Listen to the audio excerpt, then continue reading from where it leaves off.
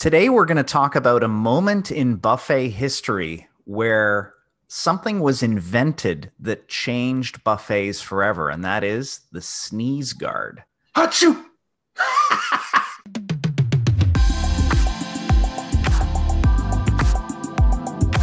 And it was actually invented by a germaphobe, and they invented the glass barrier in 1959. It was for one of the original buffet concepts, which is a what was it? I forget the name, but it was based on the Swedish concept of smorgasbord, which is I guess smorgasbord means like a large spread of food, like for family style. He didn't like people looking down at the food and touching it, right? And sneezing and smelling it because I think there's a tendency for people to want to do that. you know? Sometimes when you smell something, if you change the direction of the air all of a sudden, something could fall out of your nose. He didn't want that happening. Things can fall out of your nose, and that is terrifying. I'm terrified right now thinking of that. Something falling out of someone's nose into my food. Yeah, it's pretty frightening. Either a hair or a booger. Yeah, or a, a, a booger with a hair in it. But I thought it was interesting. I read that article that was um, written actually by the Smithsonian in 2013, and it talked all about this guy's, you know, restaurant concepts.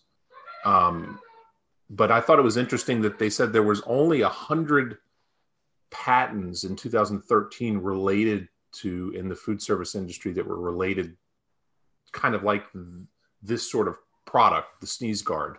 100 patents, which uh, is pretty small compared to the overall amount of patents, which is like eight. So there was like 8 million, if I remember correctly. That was interesting. So does that mean we don't know how to innovate in food service? Well, I guess we don't in the food services. So I guess there's space for innovative people to come up with ideas because not a lot of that is being done. So do you have any ideas that you would like to give away for free that you never felt like patenting yourself, but maybe one of our viewers would like to go to the trouble of trying to patent the idea themselves. And then they can just, you know, they won't pay you for the idea. They can just give you a patent on the back. yeah, send us your ideas.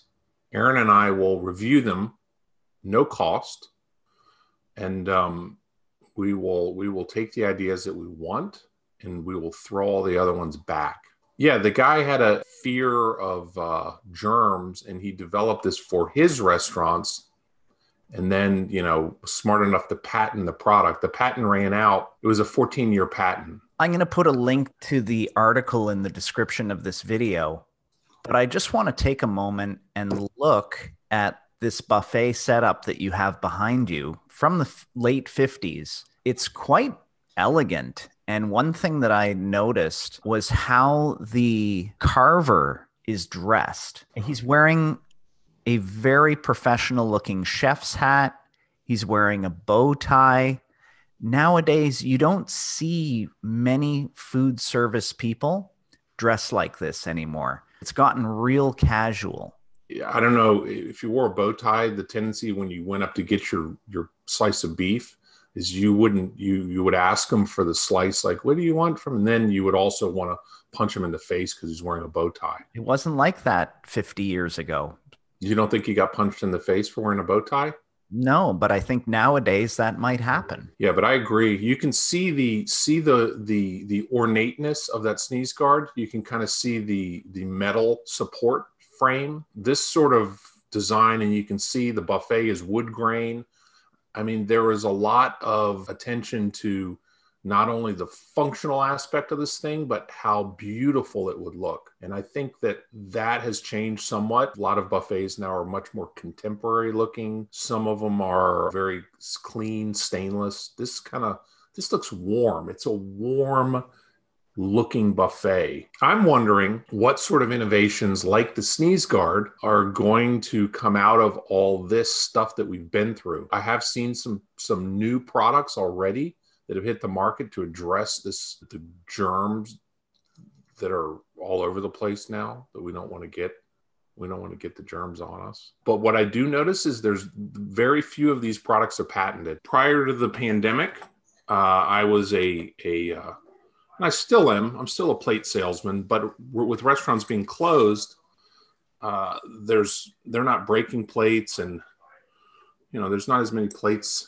There's not as much plate activity in the market right now. But I have always been uh, for many years throughout my life. I took a little break, a, a tabletop specialist. So I would be the person. See that table setting over there on the table with the napkins. I would be the. I would. I was a salesman, and I would come up with ideas and concepts, products for that tabletop, glasses, silverware, plates, everything to serve food. So I continue to do that now, but we're waiting for the pandemic to end. Basically, you can see this if you can see this little bowl. This is a nice little bowl. You may serve a side dish in or an appetizer.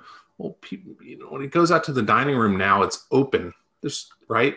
Mm-hmm. People don't in your face. You're carrying it through. Maybe you have a mask on, but the germs are in the air.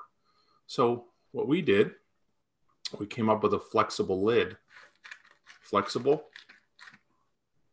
slides right over here. It's hard to do with one hand on the camera, and I'm very nervous. I'm sure it works well when you're not thinking about it so much. There you go. So now it's covered. You can sneeze on that and it'll never get contaminated. Correct. If you did sneeze, if you had a mask on and some of the sneeze got through the mask, like a really, really powerful sneeze, and the mask was strapped to your face, but the air from the sneeze pulled the mask, pushed it out from your face, like the elastic stretched, pulled your ears forward. So the sneeze got out like through the tops of the mask and the sides. This extra security, which we've we've come up with. This is an innovation. This is a product that didn't really exist or wasn't needed. So now this is this is the world that we live in. Here's another one. The lid, right?